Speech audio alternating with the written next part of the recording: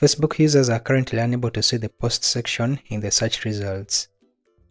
Normally, when you search for something on Facebook using the search bar, the results are categorized into different tabs such as all, posts, people, groups, and so on. This allows users to easily filter results based on their search keyword.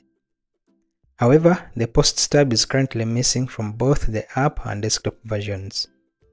It is unclear whether Facebook has permanently removed this option, but there are speculations that this change may be related to a recent tragic incident involving a prominent American political activist, Charlie Kirk, as a way to prevent public outrage.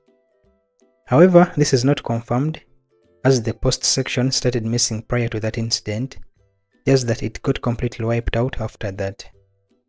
While we await Facebook's official statement on this issue, I want to share a workaround that allows you to still search for posts, but I will also keep you updated on any new changes, so be sure to subscribe to the channel.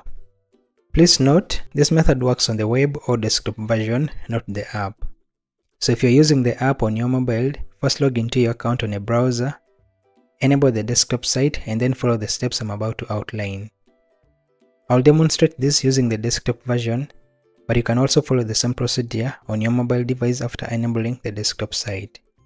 So here are the steps. First, log into your Facebook account. Next, enter your keyword in the search bar. In the search filters, you click on the videos section or tab. Under that, you click sort by and select most recent. After that, go to the URL bar and replace the word videos with posts. Once that is done, hit enter and this will generate post results.